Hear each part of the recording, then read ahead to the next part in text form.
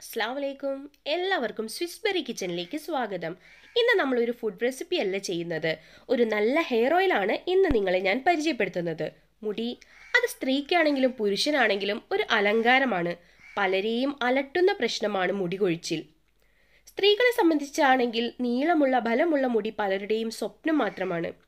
ഇന്ന് മുടി കൊഴിച്ചിൽ മാറി നല്ല തിക്കായി മുടി വളരാനുള്ള ഒരു എണ്ണയാണ് ചെയ്യാൻ പോകുന്നത്. ഒരു കാച്ചിയ എണ്ണ. ആദ്യം നമുക്ക് ഇതിലെ ഇൻഗ്രീഡിയൻസും അതിന്റെ ഗുണഫലങ്ങളും നോക്കാം. ആദ്യത്തേത് വെളിച്ചെണ്ണ. വെളിച്ചെണ്ണയെ കുറിച്ച് കൂടുതലൊന്നും മലയാളികൾക്ക് പറഞ്ഞു തരേണ്ട ആവശ്യമില്ല. നീളത്തിൽ മുടി വളരാൻ സഹായിക്കും. ധാരാളം വിറ്റാമിനുകളും ഫാറ്റി ആസിഡും അതിലടങ്ങിയിട്ടുണ്ട് ബീറ്റ കരോട്ടിനും പ്രോട്ടീനും ധാരാളം കറിവേപ്പിലയിൽ അടങ്ങിയിട്ടുണ്ട്. ഇത് മുടി കൊഴിച്ചിൽ തടയും. ഇതിലെ അമിനോ ആസിഡ്സും ആന്റി ഓക്സിഡൻസും മുടിയെ ബലപ്പെടുത്തും. മുടി കറുക്കാൻ സഹായിക്കും അകാലനരയെ തടയും. നമ്മുടെ തലയോട്ടിയിലെ ബ്ലഡ് സർക്കുലേഷൻ കൂട്ടാൻ സഹായിക്കുന്ന ഒന്നാണ് മൈലാഞ്ചി ഇല. ഇത് താരനെ തടയുകയും അതുപോലെ തന്നെ നമ്മുടെ മുടികൊഴിച്ചിൽ ഇല്ലാതാക്കും. പിന്നെ നരയെയും തടയാൻ ഇതിന് സാധിക്കും. എല്ലാ അസുഖങ്ങൾക്കുമുള്ള ഔഷധമാണ് കരിഞ്ചീരകം. മുടിയുടെ കാര്യത്തിലും വ്യത്യസ്തമല്ല. മുടി വളരാൻ സഹായിക്കുന്നതോടൊപ്പം നല്ല ഫലമുള്ള മുടി ഉണ്ടാവാനും സഹായിക്കും. പിന്നെ നമ്മുടെ തലയോട്ടിയിലെ ഡ്രൈനസ് ഇല്ലാതാക്കാനും ഇത് സഹായിക്കും. ഒരു പ്രകൃതിദത്തമായ മോയ്സ്ചറൈസർ ആണ് നമ്മുടെ ആവണക്കെണ്ണ. മുടി വളരാൻ സഹായിക്കുന്നതോടൊപ്പം നമ്മുടെ മുടിയെ നല്ല സ്മൂത്ത് ആൻഡ് ഷൈനി ആക്കി സൂക്ഷിക്കാനും ഈ എണ്ണയ്ക്ക് സാധിക്കും. നമുക്കിനി ഈ എണ്ണ എങ്ങനെ കാച്ചാം എന്ന് നോക്കാം. ഞാനിവിടെ കുറച്ച് കരിഞ്ചീരകം എടുത്തിട്ടുണ്ട്. ഇത് നമ്മുടെ മിക്സിയുടെ ജാറിലിട്ടിട്ട് നമുക്കൊന്ന് പൊടിച്ചെടുക്കാം. ചെറുതായിട്ടൊന്ന് പൊടിച്ചെടുത്താൽ മതി. ഈ ഒരു രൂപത്തിൽ പൊടിഞ്ഞു കിട്ടിയാൽ മതി. ഞാനിവിടെ ഒരു ചീനച്ചട്ടി വെച്ചിട്ടുണ്ട്. ഇതൊന്ന് ചൂടായി വരുമ്പോൾ നമുക്ക് ഇതിലേക്ക് കുറച്ച് വെളിച്ചെണ്ണ ഒഴിച്ചു കൊടുക്കാം.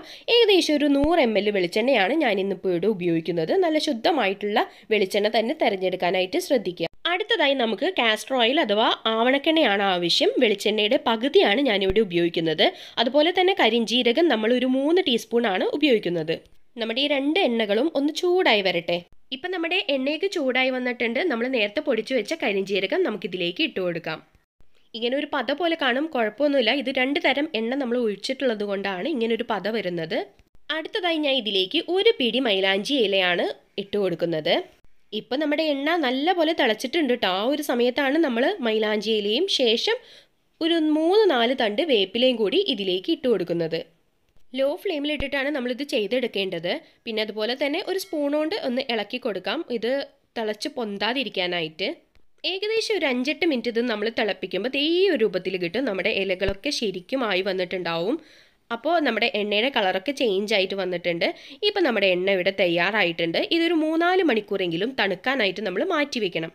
നല്ലപോലെ തണുത്ത ശേഷം ഞാൻ ഇതൊരു പാത്രത്തിലേക്ക് അരിച്ചൊഴിച്ചു ഒരു അരിപ്പയിലൂടെ. എന്നിട്ട് ഇതൊരു കുപ്പിയിലാക്കി സൂക്ഷിക്കുകയാണ്. അപ്പോൾ ഇതേപോലെ നമ്മൾ ഒരു കുപ്പിയിൽ സൂക്ഷിച്ചാൽ മതി. ആവശ്യത്തിന് ഇതിൽ നിന്നും എടുത്ത് ഉപയോഗിക്കാം. നല്ല കരുത്തുള്ള ആരോഗ്യമുള്ള മുടി വളരാനുള്ള ഈ ഒരു എണ്ണ എല്ലാവരും ഒന്ന് ഉണ്ടാക്കിയിട്ട് തലയിൽ തേച്ച് നോക്കണം. എന്നിട്ട് നമ്മളോട് അഭിപ്രായമൊക്കെ പറയണം. അപ്പോൾ നെക്സ്റ്റ് ഒരു നല്ല വീഡിയോ ആയിട്ട് വരുന്നത് വരെ ബായ് അസ്സാം വലൈക്കും ഫ്രം സ്വിസ്ബറി